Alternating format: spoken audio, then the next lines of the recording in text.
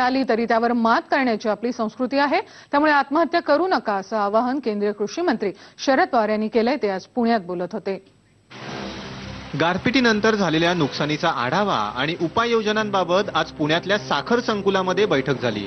वसंतदादा साखर संस्थेच्या कार्यालयात झालेल्या बैठकीनंतर केंद्रीय कृषी मंत्री शरद पवार यांनी पत्रकारांशी संवाद साधला.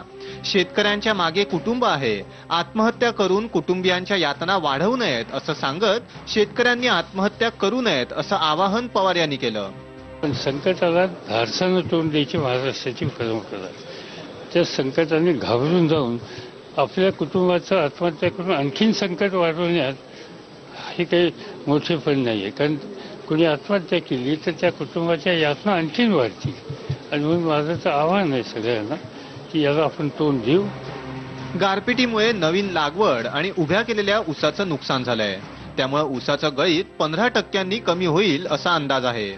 नुकसान झालेल्या ऊसाचं पीक पुनर्जीवित करण्यासाठी ऊस तज्ज्ञ शास्त्रज्ञांच्या माध्यमातून मार्गदर्शनाचा कार्यक्रम हाती घेण्यात आल्याची माहितीही पवार यांनी दिली.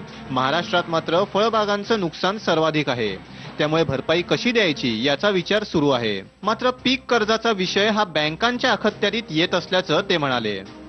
ॲग्रिकल्चर एक्सपर्ट्सनी काय केलं पाहिजे की जेणेकरून तो ऊस पुनर्जीवित होईल याचा एक कार्यक्रम तयार केलेला आहे. वीज तयार करण्याच्या संबंधीची अल्कोहोल तयार करण्याच्या संबंधीची आणि त्याच्यात तांत्रिक गुणवत्ता वाढीच्या दृष्टीने अधिक काय करायचं या संबंधीचे निर्णय आजच्या बैठकीमध्ये आम्ही घेतले महाराष्ट्रात सोळा लाख हेक्टर तर मध्य प्रदेशमध्ये चोवीस लाख हेक्टरवर नुकसान झालंय.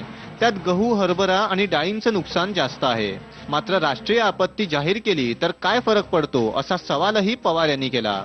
नुकसान भरपाई देताना निवडणूक आचारसंहितेचे उल्लंघन होणार नाही. यासाठी निवडणूक आयोगाची संमती घ्यावी लागणार असल्याचंही त्यांनी सांगितलं.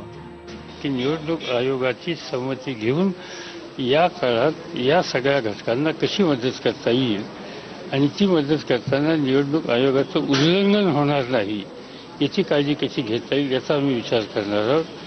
जर उद्या निवडणूक आयोगानं सांगितलं की या सगळ्या निर्णय प्रक्रियेत आणि वाटप प्रक्रियेमध्ये लोकप्रतिनिधी अजिबात राहू नये तरी सुद्धा आम्ही त्याचा स्वीकार करू.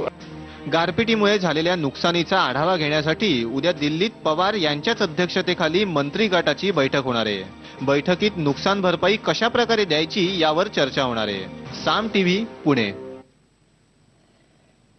लोकसभा निवडणूक जसशी जवळ येते तसशी आयाराम गयाराम नेत्यांची संख्या देखील वाढू लागली आहे. भिवंडी